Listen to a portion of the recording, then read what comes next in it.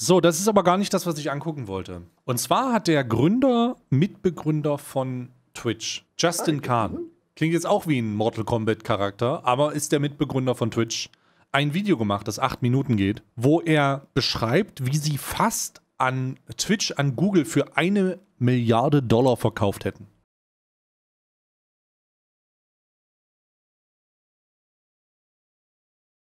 Stein. No fucking way, Alter. Und wir gehen mal rein. Sehr interessant für mich. morning of August 25th, 2014. Well, I remember where I was. I woke up in a pool of water at Burning Man, desperately trying to figure out if we sold Twitch for a billion dollars. But let's rewind a little bit to a few months earlier, where we were trying to sell Twitch to Google, which was a deal that would have changed the course of internet streaming history. Alter Schwede. Es war ja damals schon die Spekulation, dass Google und oder Amazon da dran sind. How's it going? I'm Justin, Justin Kan from Justin.tv.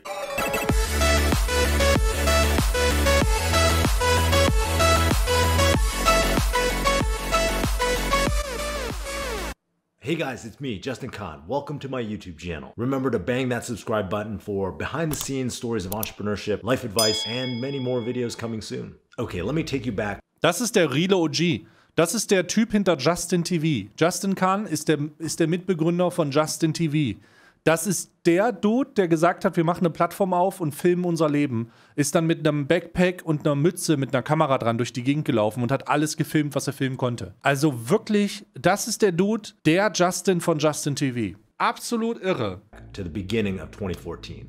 By this time, it had been seven years since Emmett, the current CEO and my co founder at Twitch, and I had started the company. We started off as Justin TV, and three years earlier, we'd pivoted to Twitch. There were a ton of skeptics. People heard watching other people play video games, and they were like, why would anyone do that? But we weren't worried. Twitch was far and away the most popular esports streaming service. We had over 55 million monthly viewers, and at one point, Wall Street Journal said that we were the fourth highest traffic site in North America.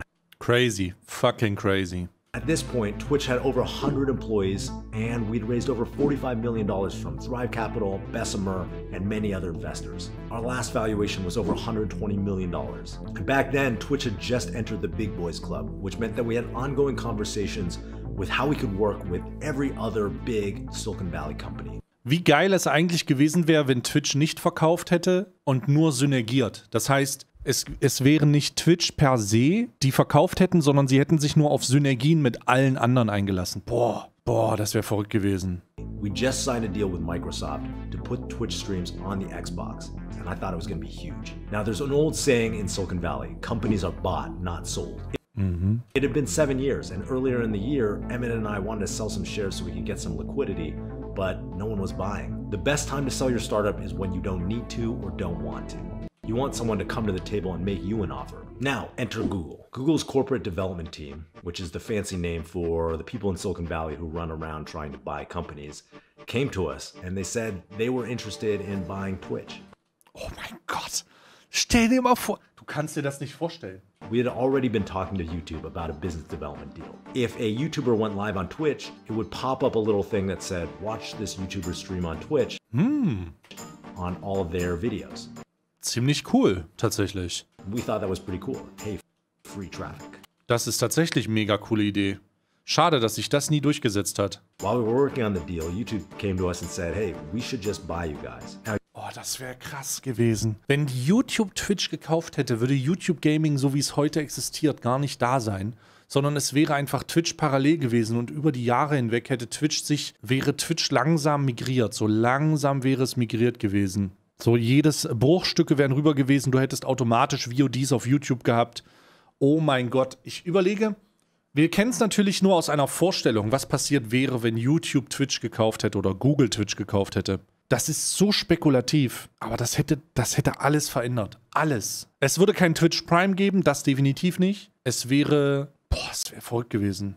Now, YouTube was already the number one platform for uploaded video, and this would pretty much cement them as the king of streaming. Yeah. So, what was the offer? They said they would give us $150 million in consideration and $25 million in retention. Consideration is the part of the deal that goes to the cap table. That means everybody who is an owner of the company. The retention is the part of the deal that goes to the team that is continuing on. That means all of the management team, the employees, and basically everyone who's going to work on Twitch at YouTube. This would mean after seven years of hard work, we would sell the company for almost $200 million.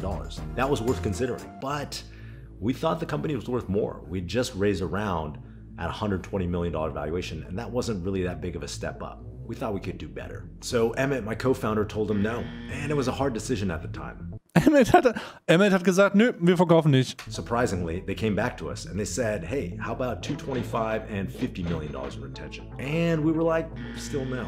Then they said, how about 375 million dollars in retention? Oh mein Gott. Also, tut mir leid. Wenn du zweimal ein Angebot ausschlägst und die kommen das dritte, Moin. die kommen das dritte Mal wieder zurück, dann schlägst du so lange aus, wie du ausschlagen kannst. Dann gehst du so weit, wie du weit gehen kannst, so. Wenn der das dritte Mal wieder, wenn er zweimal zurückkommt und nachdem der Nein gesagt und er, er setzt da immer so ein Drittel mit drauf, so, oder ein Viertel oder was auch immer, dann sagst du immer wieder Nein. Mal gucken, was geht, so. And at that point, I was like, Emmett, yo, maybe we should take this. And Emmett went back to them and said, no, you guys are more than half off. Uh, it's too low. And stop with these 24 hour exploding deals. That means we'd have to sign it within 24 hours of receiving it. We're not going to decide that fast. Holy shit, Alter. Was für ein Poker. So they kept coming back and it went higher and higher. Then it was like 500 and 100. And then it was like 625 plus 125. And at that point, Emmett told them, well, I'd like to get the number up to a billion. And that's when they came back with their final offer. $850 million in consideration and $150 million in retention. Oh mein Gott, Bruder.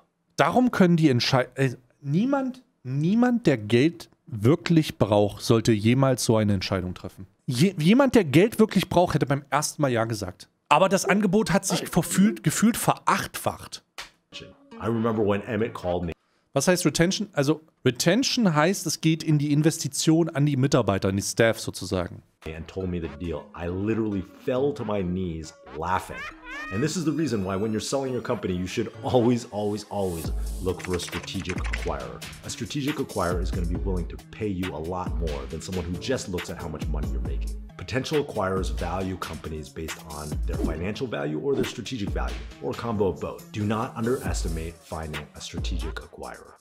When I heard about the deal, I was ecstatic. We had been working on the company for the last eight years, and it had been a really, really grueling, grinding long road. Finally, we were gonna be somebody in Silicon Valley. This was the way we were gonna make our bones. We got together as a board and approved the deal as quickly as possible. Emmett signed the term sheet and sent it back. But wait, that was just the term sheet. There's a lot more to do to close a deal. The company's got to dig up basically every skeleton in the closet, every contract, every employee, every document, and basically hand it over to the acquirers. Ah, okay, die haben also echt, sie haben wirklich vorgehabt zu unterschreiben, Alter. Die hätten das durchgezogen. What the fuck? And then, after you go through the diligence process, you still have to write all of the merger docs. This is a massive, massive document that explains exactly how the companies are going to Oh mein Gott, ey. be combined. And of course, Wenn fucking Google mehrfach bei dir anfragt, ein Unternehmen zu kaufen, dann müssen die Twitch damals für verdammt lukrativ gehalten haben. Ich glaube, die haben Twitch nicht für lukrativ gehalten, sondern sie haben Twitch für das gesehen, was es ist. Ein unheimlicher Synergiestrang. Genau was Amazon auch macht. Twitch ist ja nicht etwas, was Geld verdient. YouTube verdient ja auch kein Geld. Das ist einfach nur Synergie. Das heißt, was macht, was macht Amazon denn auch mit, mit Twitch? Sie lenken alles, was sie können, auf Amazon Prime. Sie steuern förmlich alles über Amazon Prime. Twitch ist eigentlich nur, Bruder, wie viel können wir in unsere Amazon Prime Sachen reinstecken? Ihr werdet nie Gewinn machen und we don't give a fuck. Aber ihr macht bitte so viel Primes, wie ihr könnt. Und wir, wir ballern das raus und, und so viel es geht. every point that you didn't put into the sheet is going to end up being negotiated by armies of lawyers in this massive document. And lastly, after you close the deal, you still have to wait for the government to approve to make sure that it's not a monopoly. This Yeah. part can really fuck you because after you close the deal, you give control of your company to the acquirer, but you haven't got paid yet until the government approves. When there's an antitrust concern, the government approval can take a long time. At the time, we had just heard a rumor that Waze had tried to sell themselves to Google and it had taken over a year for them to get approved. Uh, okay. We were worried the same was going to happen to Twitch. After all, we were pretty much the biggest streaming site out there. We had operating costs, streamers, and employees to pay. So we had to negotiate what was going to happen after we signed, but before the deal closed. Since we wouldn't be able to raise any more money, we said, hey, YouTube needs to give us $50 million immediately as we sign this deal in order for us to continue operating. And then if the deal doesn't close, the government vetoes it for any reason, you pay us 200 million. We wanted Google to take that risk because they were claiming that there was no risk that this failed antitrust, which we thought was uh, questionable. Ach du Scheiße, Bruder. Stell mal vor, du gehst zu Google und sagst, ihr gebt mir jetzt 50 Millionen und dann gebt ihr mir 200 Millionen, egal was passiert. Und wenn das nicht funktioniert, ne? I don't give a fuck. Holy shit. and they refused to agree to fund the company in the interim. After months of diligence and getting all the documents ready, finally we just decided to walk away.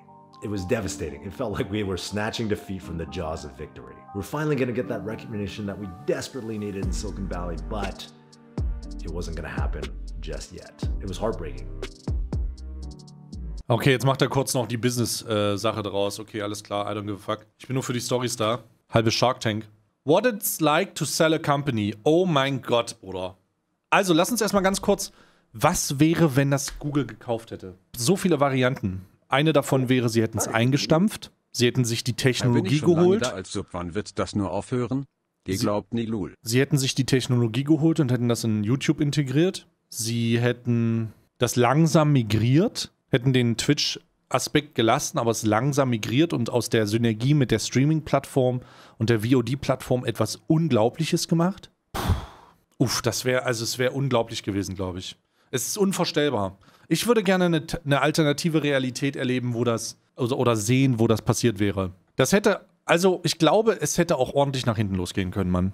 To sell a company. It can seem super glamorous with exponentially big numbers and amazing headlines. but it's also an emotional roller coaster.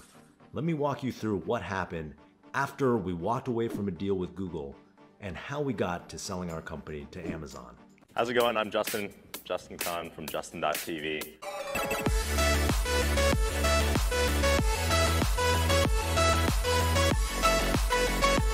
Bruder, I miss old Twitch, Alter. Fuck me.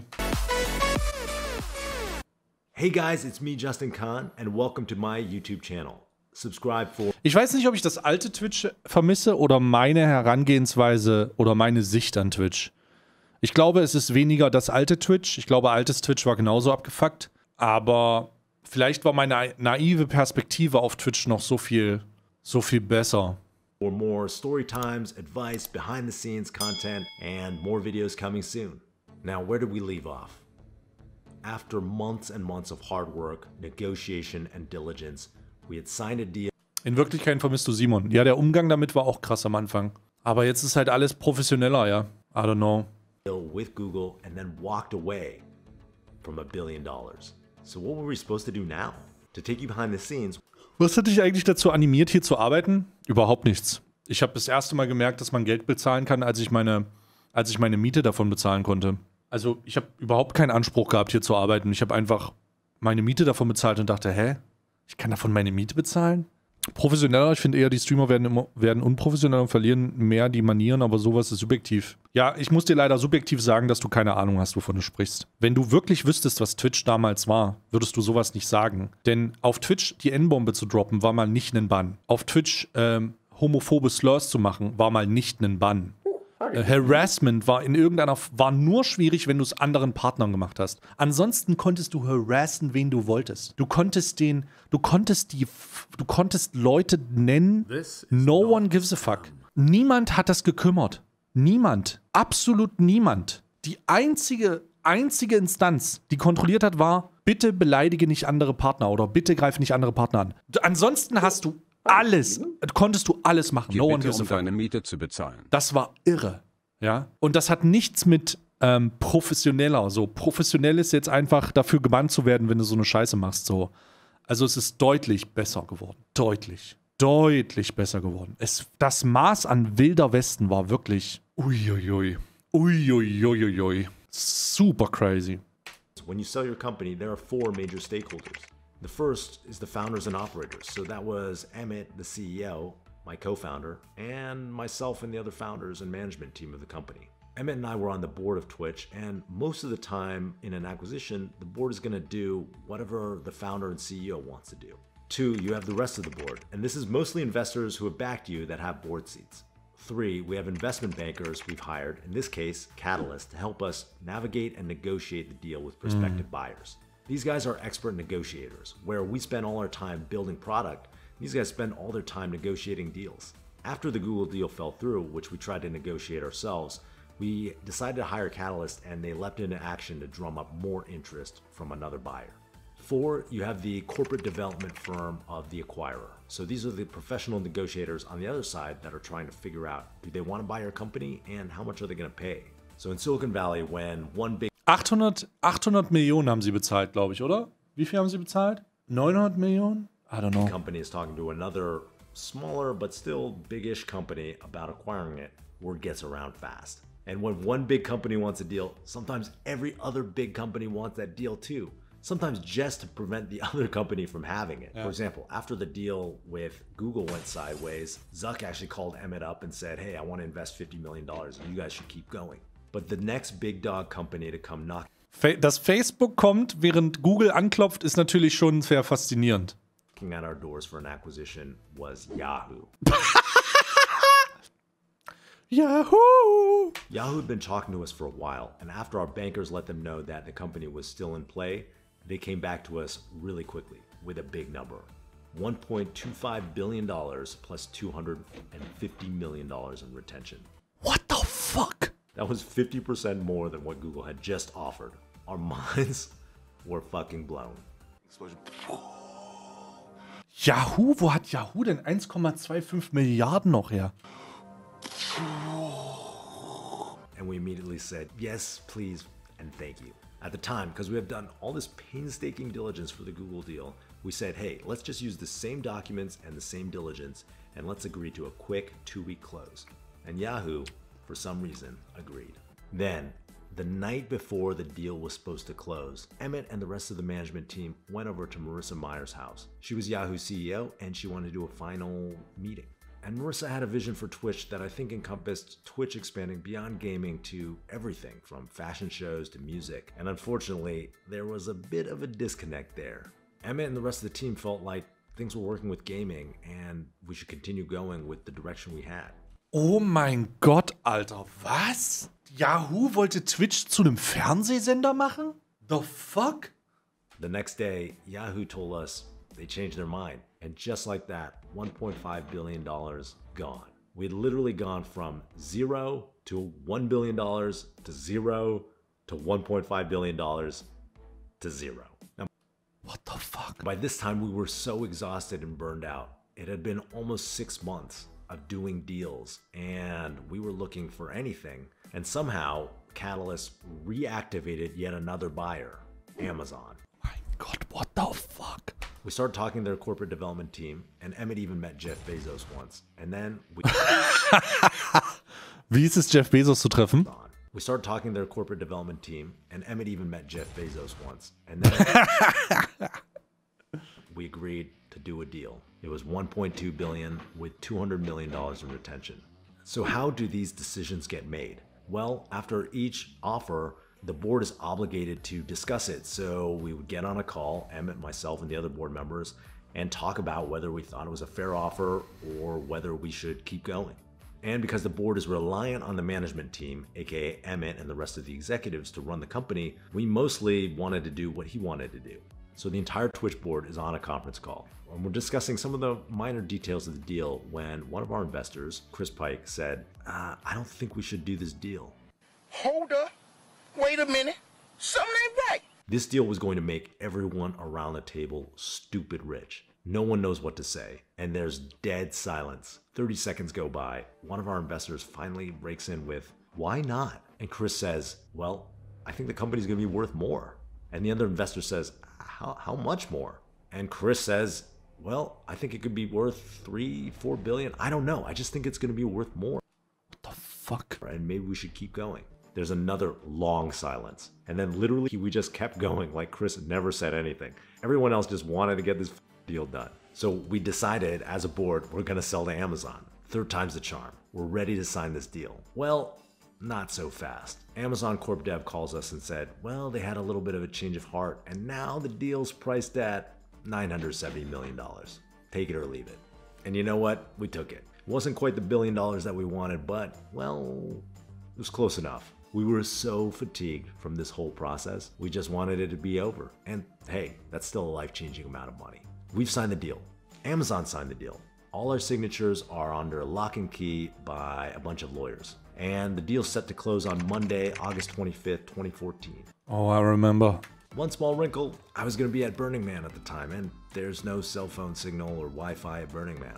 If you haven't been to Burning Man, it's an experiment. Bruder, 2014, Bruder, da war ich. Na, 25. August 2014 war ich ein halbes, dreiviertel Jahr schon Partner. Little community that happens out in the desert for roughly a week around Labor Day every year, and it's one of my favorite times. One of the cool things about Burning Man is that people build art, and one piece of art that they build is called an art car, where they take a vehicle and they radically modify it so it doesn't even look like a vehicle. These art cars can be anything ships, there's a giant sheep, I've seen a giant scorpion, there's cars with tens of thousands of watts of speakers, there's cars with LEDs, there's literally everything. So I'd spent the entire summer building my own art car called Titanic's End.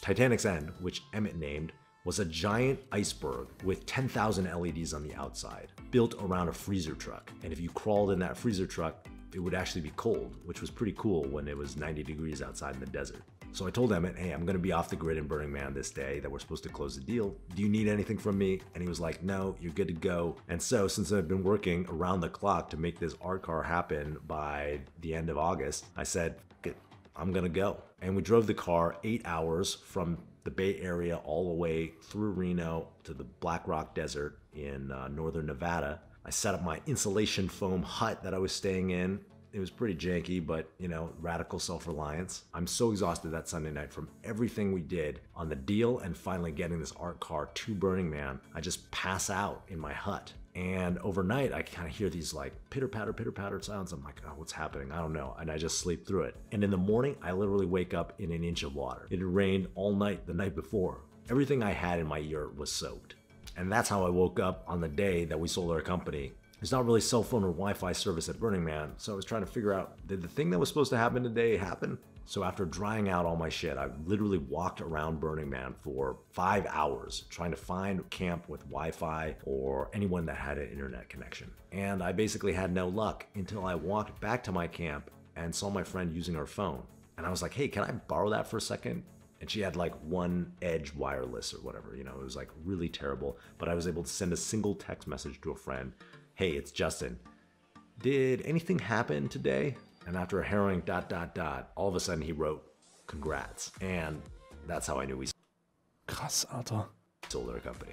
Okay, so we closed with Amazon and now there's just Bruder, stell mal vor, du kriegst eine Nachricht, die dir darüber informiert, dass du mir nie wieder Geld, äh, Sorgen um Geld machen musst. Ja, so stellen sich Affiliates übrigens vor, wenn sie Twitch-Partner werden, aber. one final hurdle the US Department of Justice. So when the deal got announced, we actually didn't have any money yet.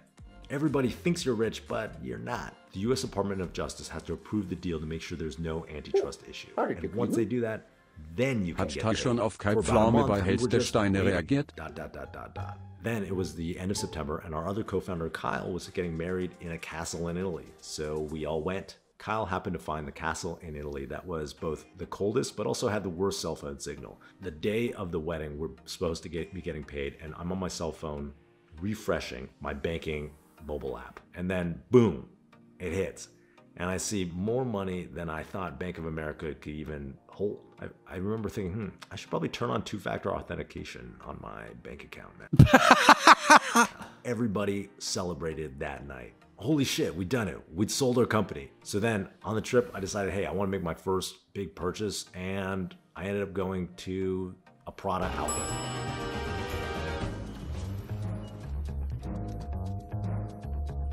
This was like the Costco of Prada, a Prada superstore with pretty much everything on sale. So we walked out of there with a lot, but I mean, there was definitely people out there who were buying more than me. It was pretty funny. It was like every Asian person in China was there at that outlet in the countryside of Italy. So what happens next? Well, it turns out that once your basic needs are met, having more and more and more doesn't really do anything for your long term happiness. I ended up going back to San Francisco. I bought a house and I went to work at Y Combinator as a partner. Because I was on the board at the time and Emmett was running the company, I didn't have to continue on at Amazon, so I was free to do whatever I wanted. And it felt good to have that recognition of our last eight years of hard work finally paying off. At the time, people were mind boggled why Amazon would pay almost a billion dollars for a company that allowed people to watch streamers play video games. Krass. But today, in retrospect, it looks pretty oh, good. Twitch has been valued at over 15 or 20 billion dollars. So it looks like Amazon got a pretty good deal. Now, the part you've all been waiting for three key lessons for you. You can't get too wrapped up in selling your company. For us, the deal fell through three times. You can't hmm. control that outcome, so try not to get attached to a certain result. This applies to deals and it also applies to life. I try to actively remind myself that being too attached to outcomes is only going to cause my future suffering if it doesn't happen. The sooner you accept that you can't control outcomes in the outside world, the freer you will be. Lesson two equity is a gamble. It could turn into a life changing payout, and it could also turn into nothing. Only make this gamble if you can afford to do it, which usually correlates with being young and having no opportunity cost. This could have gone many different ways. We had tried to sell our company many times before and it didn't pan out. So, in one way, we got very, very lucky. Lesson number three, which came a little bit later. The endless hedonic treadmill to accumulate more and more is a trap. And I know a lot of people will say, hey, Justin, it's easy for you to say that now. But to Also, warum können solche Leute ihr Unternehmen nicht selber halten und mal ein Konkurrent für die Großen werden? Relativ einfache Beantwortung der Frage. Also sehr einfach sogar, tatsächlich. Erstaunlich ein- so einfach, dass ich nicht, dass ich mir nicht vorstellen kann, dass, dass man da nicht selber drauf 50 kommt. Jahre Stand. Stell dir vor, du hast ein Unternehmen 50 gemacht, das mit so viel Zeit so viel wert ist. Und irgendwann kommt jemand zu dir hin und gibt dir so viel Geld, dass du nicht daran denken kannst, jemals irgendwie damit auszurennen. Dann nimmst du die Kohle. Du musst nie wieder arbeiten gehen. Niemals mehr in deinem Leben. Du machst nur noch Dinge, die dir Spaß machen. Also warum die das verkaufen? Ist, weil sie das haben. Du musst nie wieder irgendwas tun. Never ever. Du kannst also, du triffst zwei Entscheidungen. Entweder du holst dir den Deal deines Lebens und du musst nie wieder was tun und hast dann kannst machen, was du willst. Oder du konkurrierst mit einem der brutalsten, riesigsten Firmen auf diesem Planeten. Du nimmst also die Kohle, weil das der logische Schritt ist. Ne? Sehr einfacher, sehr einfache Wahl.